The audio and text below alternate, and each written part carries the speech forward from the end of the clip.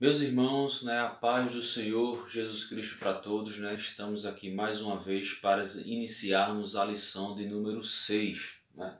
A lição de número 6 né, muito boa, né? É uma lição muito maravilhosa, né? Onde o, o título da lição é a Bíblia como um guia para a vida, né? A Bíblia como um guia para a nossa vida. Por que precisamos de um de um guia para a nossa vida, né? Por conta do pecado, né? A Bíblia, a Bíblia nos informa e nós somos testemunhas disso, né? Que o pecado se alastrou por todo o mundo, né? Então, para chegarmos aos céus, né? Para sermos um cidadão dos céus, nós temos também que ser um cidadão aqui na terra, né? Então, precisamos aprender com a palavra de Deus, né? E a lição muito boa, que é a lição número 6, fala sobre a Bíblia como um, como um guia para a vida. Né? O nosso textuário diz o seguinte: Lâmpada para os meus pés é tua palavra e luz para o meu caminho. Lá no livro de Salmos 119, versículo 105. Né? Então, a nossa verdade prática diz o seguinte: a Bíblia é um guia para seguro para a nossa caminhada cristã. Alicerçados nos ensinos da palavra de Deus, somos instigados a viver com sabedoria e prudência. Então, nessa lição, nós vamos ver o significado de sabedoria, né, de prudência. Uma lição muito boa, né? E eu já queria começar aqui lendo para vocês aqui, queria que vocês abrissem suas Bíblias lá no livro de João. Livro de João, capítulo 10, versículo 10, que diz o seguinte, né? João 10, 10. O ladrão não vem senão a roubar, a matar e a destruir, mas eu, Cristo, Vim para que tenham vida e tenham com abundância. Então a vontade de Deus é que nós temos vida com abundância. Não é isso? Então, meus irmãos, meus irmãos, né, no primeiro tópico aqui da lição fala sobre a Bíblia é um alicerce para a vida. E eu tenho aqui o seguinte: a Bíblia né, não é só não é suficiente, não é suficiente apenas crer, né? Nós temos que mergulhar crer, aceitar os ensinamentos de Deus, né? Porque a Bíblia, né, se for um livro que fica ali parado no canto da sua casa, né, que você não lê, que você não faz uso dessa Bíblia, ela é apenas um livro comum. Mas ao pegarmos a Bíblia, lermos, nos esforçarmos para aprendermos a sua palavra, né, que é a, a Bíblia é a mente de Deus, e nós pormos em prática, então o valor, né, o, o, a, a vida que tem naquele livro passa a fluir na nossa vida também. Né? E tudo isso gera um aprendizado. Então não só é, não é suficiente apenas crer que Deus existe. Temos que mergulhar, acreditar, aceitar os ensinos né, de Cristo. Não é isso? Então ser cristão é ter um novo estilo de vida. Né? Deus ele abomina esse estilo de vida pecaminável que está no mundo aí fora. Então, ser cristão é ter um novo estilo de vida. Eu queria ler para vocês lá em Mateus também, perdão, livro de João, capítulo 5, né, versículo 39, que diz o seguinte, né, João 5, 39. Examinai as Escrituras, porque vós cuidais ter nelas a vida eterna, e são elas que de mim testificam. Né? Muito boa aqui para nós se apegarmos a isso. Hoje nós estamos muito atrativos, né? Que para distrairmos, né? São é, coisas do cotidiano, trabalho, estudos, faculdade, né? Viagens, é, assistir filme, é, tá nas redes sociais, né?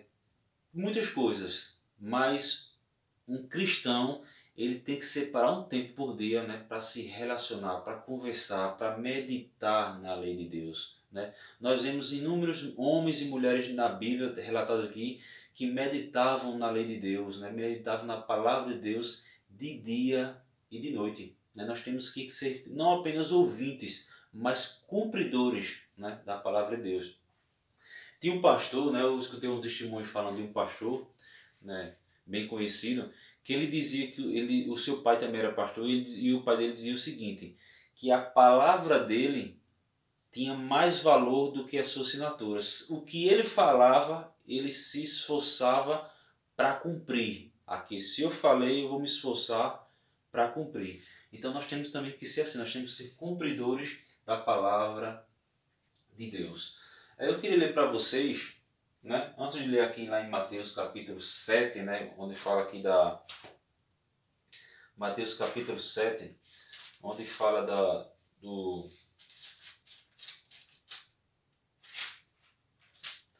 Mateus capítulo 7, versículo Versículo 24 diz o seguinte, né? Todo aquele, pois, que escuta essas minhas palavras e as pratica, assemelhoei ao homem prudente que edificou a sua casa sobre a rocha, né? E desceu as chuvas e correram rios e sopraram ventos e combateram aquela casa e não caiu porque estava edificada sobre a rocha. E aquele que ouve minhas palavras e não as cumpre, compará-lo-ei ao homem sensato que edificou a sua casa sobre a areia. Né? Eu, botei, eu coloquei aqui para ficar. O sábio, ele constrói a sua casa, a sua vida sobre a rocha, que é Cristo. Né? Então o sábio ele constrói sobre a rocha. Né?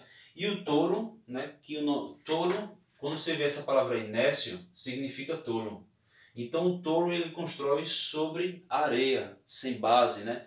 Nós podemos citar aqui o prédio mais alto do mundo, que fica ali em, em Dubai, né, nos Emirados Árabes, que é o Burj Khalifa. Nós vemos ali que o prédio, se não me falo a memória, tem 880 metros de altitude, é de altura. Né? E por que, que um prédio desse não cai? Porque está bem alicerçado, né? mesmo sendo ali no meio do deserto, muita areia, mas está bem alicerçado. Então todo aquele né, que é sábio, ele vai construir né, a sua casa. A casa, nessa, nessa passagem que eu li aqui, era a casa simboliza a vida. Né? Aí fica essa pergunta: em que a nossa vida, a nossa casa está alicerçada? Na rocha ou na areia? Né? Essa é uma pergunta para nós refletirmos. Né? Qual, em qual dessas, na areia ou na rocha, está alicerçada a minha vida, a minha casa, né? a minha esperança. Então a Bíblia diz que o tolo, que é o Nécio, ele constrói a, casa sobre a areia. Né? E a casa simboliza a vida. Né? E qual a diferença? O sábio ele vai ouvir a palavra de Deus, ele vai ouvir a palavra de Deus. E o tolo é aquele que ouve, mas não pratica. É né? o que tem no mundo aí fora. Ah, eu acredito em Deus, Deus existe, Deus é bom, mas não pratica. Mas aquele que se esforça, aquele, aquela, né? que obedece, né, que se esforça para obedecer, então ele é sábio diante de Deus e a sua casa está construída na rocha. Então a casa simboliza a vida, né? E ok, olha, ambas as construções sofrem com a tempestade. Né? Nós vemos ali que veio a chuva torrencial, né? A chuva torrencial, a inundação temporal. Mas a chuva veio, bateu sobre a rocha Grande foi o seu ímpeto, a sua força, mas a casa não caiu porque estava firmado o quê? Na rocha. Mas a, a lição diz o seguinte, que quando veio a inundação, a chuva torrencial sobre a casa que estava sob a areia, não é? a Bíblia diz que ela não somente caiu, mas grande foi o seu estrondo. Olha aí. Então nós temos que se apegar a Deus, né? porque a nossa vida estará, glória a Deus, nós temos construído sobre a, a, a rocha. Né? E essas dificuldades aqui, olha, simbolizam as dificuldades da vida. Né? Quando vem as, as dificuldades da vida, né? as, diante do trabalho, né? na nossa família, né? as dificuldades da vida, as tempestades da vida. Não é? que, no, que nossa vida esteja sobre a rocha, porque as aflições, né, as, as, as doenças, as enfermidades e tantas outras coisas que vêm para nos afligir, mas ela não vai nos derrubar porque a nossa casa estará sobre a rocha. Eu queria ler para vocês lá em Efésios capítulo 5. Efésios capítulo 5, versículo 8, que diz o seguinte, né? Porque no outro tempo eras trevas, mas agora sou luz no Senhor. Andais como filhos da luz, né? Então temos que andar, né? Veja, veja interessante que eu estava meditando. Às vezes a gente está assistindo o jornal né, e a gente vê que se formam aqueles grandes ciclones, aqueles grandes furacões no meio do oceano. Né? Um, um, tempo, um tempo desse eu assisti no jornal que dizia que os ventos de, ali no oceano estavam a 500 km por hora. Imagina a velocidade de um vento desse. Mas a misericórdia de Deus é tão grande que à medida que o, o tufão, o furacão vem se aproximando da, da costa, né, o, frento, o vento, perdão, o vento vai ficando mais fraco. Mas mesmo assim, chega com vento com 150 ou até mais quilômetros por hora a velocidade do vento. E a gente vê que aquelas árvores, né, aquelas árvores grandes, quando bate aquela tempestade, ela quase que, que cai no chão, né, do vento tão forte. Mas quando a, o vento para, ela volta a ficar, porque tem raiz, a raiz está profunda, né? Que nós, que a palavra de Deus estar enraizada dentro do nosso ser, né, para que nós possamos vencer as tempestades da vida, certo? Então deu para entender aqui um breve resumo aqui da lição número 2. No segundo, é, eu queria ler para vocês antes, Êxodo capítulo 13, versículo 21. Livro de Êxodo, capítulo 13, livro de Êxodo, capítulo 13, veja aqui. Veja que a, o título da lição deixou né? Lâmpada para os meus pés e a tua palavra, e luz para o meu caminho. Êxodo 13, versículo 21. E o Senhor ia adiante deles, de dia numa coluna de nuvem para os guiar pelo caminho, e de noite numa coluna de fogo para os alumiar, para que caminhassem de dia e de noite. Né? Aquele que tem a palavra de Deus nunca né, vai saber, nunca vai tropeçar. Né? Pode falhar, pode até tropeçar, mas vai se levantar. Né? o, o interessante de, de ver como é interessante a gente conseguir enxergar algo. Né? É, muito, é muito maravilhoso. Né? Eu uma vez eu escutei uma história né, de um livro que dizia o seguinte, os cientistas, é, alguns, uma, uma pesquisa de laboratório, eles pegaram um rato e colocaram dentro de um, de um aquário né, com água. E colocaram um rato dentro desse aquário com água e fecharam a sala, deixaram toda escura. É claro que tinha uma, uma uma câmera infravermelha para ver qual seria a reação do rato. Quando colocaram o rato dentro d'água, ele começou a lutar, lógico, né, ali para tentar sair ali daquele aquário, só que não conseguiu. Depois de uma hora, o rato morreu, né, numa sala totalmente escura. Eles tiraram o rato morto, colocaram um rato vivo né, novamente dentro do aquário e saíram da sala. Só que em vez de deixar a luz apagada da sala, deixaram a luz acesa. Então o rato primeiro, ele não conseguia ver porque estava tudo escuro, dentro da água, mas não conseguia enxergar. O segundo rato, que colocou ali dentro do laboratório, deixaram dentro da água, saiu, deixaram, mas a, deixaram a luz da sala acesa. Então o rato conseguia ver que atrás, através daquele vidro ali tinha uma saída, né, que ele poderia ali né, sair. E ele também morreu, mas ele passou três dias lutando para tentar sair ali daquele aquário. Ou seja, qual é, qual é a, a, o, o, o ensino disso? Que no, quando nós conseguimos enxergar uma saída, nós temos mais força para lutar. Então fica aí a dica, né? que Deus abra nossa mente e nossos olhos para que nós conseguimos ver a luz que é Cristo né? e prosseguirmos, mesmo diante das dificuldades, mas nunca é, parar.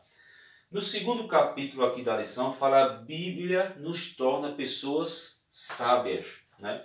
E eu coloquei o seguinte: sabedoria. Né? Sabedoria vem do hebraico e significa, né? vem do hebraico okmah. Lembre uma coisa interessante: sempre nas minhas aulas aqui eu procuro ler no português, porque mesmo que às vezes eu não tenho é, profundo, estu, profundamente estudo no, no grego nem no hebraico, infelizmente ainda, mas eu sempre procuro ler na pronúncia em português, né, para nós entendemos. Né? Então, a sabedoria no hebraico é okmah, né? que ocorre 141 vezes no Antigo Testamento, né? principalmente ali em Jó, Provérbios e Eclesiastes. Né? E o seu significado, né? a sabedoria ali, okmah, ocorre 141 vezes no Antigo Testamento, né? ele, ele, tem a, ele tem a, que significa sabedoria, mas ele tem a raiz também de, tem a ver com sabedoria, não é? A habilidade e o conhecimento de fazer escolhas no tempo oportuno, na hora certa, né? Então, sabedoria do hebraico, okimá. Eu coloquei ó, maturidade mais paciência, mais conhecimento é igual ao quê? A sabedoria. Né? Então, a sabedoria, ela vem de Deus. Né? A sabedoria, ela é, ela vem de Deus, né? Então, nós vemos que há tanto esse okimá no grego aqui, né? Sabedoria no, no, no hebraico é okimá, só para vocês entenderem, certo? E no grego é sofia, que significa prudência, né? Temor, que significa prudência. Então, tanto esse esse esse termo okma, né, como sofia, né, tem um sentido de habilidade, né, de experiência, de qualidade de quem é sábio, né? Eu queria ler para vocês lá no livro de Gênesis, capítulo 20, né? Gênesis capítulo 20, versículo 11, que diz o seguinte: E disse Abraão: Porque eu dizia comigo: Certamente não há temor de Deus neste lugar, e eles me matarão por, por amor da minha mulher. Né? Ou seja, o temor no hebraico é ira, e no grego, phobos ou pobos, que significa ter grande temor ou respeito ao divino, à majestade divina, né? É o que é, é o significado, né? Da palavra ira e phobos ou pobos, né? não, não tem tanta pronúncia assim na, no grego. Então nós vemos aqui que a sabedoria vem do grego okimá, né? Corre 141 vezes. Né? Nós vemos aqui que denota ter habilidade, sabedoria denota ter habilidade e conhecimento de fazer escolhas certas ou no tempo oportuno, não é isso? E no grego, sofia significa prudência. A prudência, né? No grego vem do termo sofia. Né? E o temor, no hebraico, ira, e no grego, phobos, que significa ter grande temor ou respeito ao divino. Né? E nós temos estudando aqui é, o conhecimento e sabedoria. E qual é a diferença de conhecimento e sabedoria? Né? O, qual a diferença? Tem, eles denotam praticamente a mesma coisa, mas tem a diferença entre eles. O conhecimento, né, ele vem, dos, ele vem do estudo, né, do estudo que a gente faz, né, da natureza, na, no campo jurídico, né, nas ciências, na biologia, na matemática, na física. Então, tudo isso gera conhecimento né, no, meio, no meio psicológico, na psicologia. Né? Mas sabedoria ela é a compreensão de todos esses fatos aqui, né, relevantes da vida e das coisas espirituais. Não é? Então nós vemos aqui que o, a sabedoria ela é superior. Não vamos ler aqui no livro de Salmo, capítulo 14, versículo 1, que diz o seguinte: Disseram os nécios no seu coração. Lembra que eu falei sobre nécio aqui, né? Significa tolo. Disseram os nécios no seu coração: Não há Deus têm-se corrompido, fazem-se abomináveis em suas obras, não há ninguém que faça o bem. Então eles não acreditavam em Deus, né? não pensavam, ah, Deus não existe, então vamos fazer o que a gente quiser. E muitas vezes não é assim. Nós temos que crer. Né? Vamos ler aqui Deuteronômio capítulo 10. Deuteronômio capítulo 10, versículo 12, que diz o seguinte: Agora, pois, ó Israel, que é que o Senhor teu Deus pede de ti? Que temas o Senhor teu Deus e que andes em todos os seus caminhos e o ames e sirvas ao Senhor teu Deus de todo o teu coração e com toda a tua alma. Né? Então a diferença é essa. Então, conhecimento vem de estu é, é a gente estudando e sabedoria é aquilo que vem de Deus, né? É a compreensão de todos os relevantes. Então a sabedoria ela vem de Deus, né? Nós temos aqui, podemos citar aqui, né, no livro de, de Daniel, né? vamos ver aqui, Daniel, livro de Daniel, Daniel, né? Daniel, veja a sabedoria, ela vem de Deus, né? A gente pode ter conhecimento, mas vamos ler. Daniel, capítulo 1, versículo 17. Ora, a esses quatro jovens Deus deu o conhecimento e a inteligência em todas as letras e sabedoria, mas a Daniel deu entendimento em toda visão e sonhos. Ainda o versículo 20. E em toda matéria de sabedoria e de inteligência sobre que o rei lhe fez perguntas, os achou dez vezes mais doutos do que todos os magos ou astrólogos que havia em todo o seu reino. Olha, olha. Versículo, Daniel capítulo 2, versículo 27. Respondeu Daniel na presença do rei e disse: O segredo que o rei requer, requer nem sábios, nem astrólogos, nem magos, nem adivinhos o podem descobrir ao rei. Versículo 28, veja. Mas há um Deus nos céus, o qual revela os segredos. Eu até notei aqui, né? Veja. O prudente demonstra humildade. Daniel não quis ali para si, ele demonstrou que vinha de Deus, né? Então nós vemos ali que Deus, né? Ele o abençoou. Veja ainda, eu queria ler com vocês ainda Daniel também, né, que foi um grande sábio, né, que Deus deu muita sabedoria a ele. Daniel capítulo 5, versículo 11. Veja o que diz aqui. Há no teu reino um homem que tem o espírito dos deuses santos, e nos dias de teu pai se achou nele luz, inteligência e sabedoria como a sabedoria dos deuses. E teu pai, o rei Nabucodonosor, né, Sim, teu pai, o rei, o constituiu chefe dos magos, dos astrólogos, dos caldeus e dos adivinhadores. Porquanto se achou neste Daniel um espírito excelente, e ciência e entendimento, interpretando sonhos e explicando enigmas, e resolvendo problemas e dúvidas, a qual o rei pôs o nome de Beltesazar. Chame-se, pois, agora Daniel, e ele te dará a interpretação. Olha aqui Daniel, né? qual o homem que Deus deu tanta sabedoria a ele. Então nós vemos que a, é, a sabedoria ela vem de Deus. Né?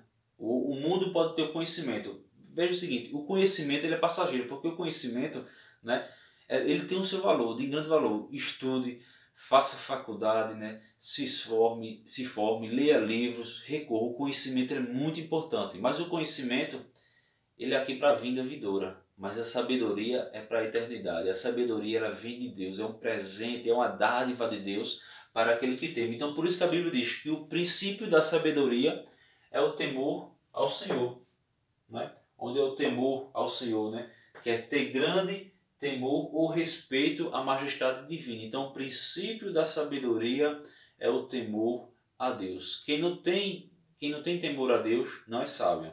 Pode ser inteligente e pode ser, pode ter conhecimento, mas não é sábio. O sábio ele compreende. Eu, você já falou, lembra aqui que eu falei, né, a diferença entre conhecimento e sabedoria. O conhecimento, a sabedoria ela vai mais além, né, do que o conhecimento.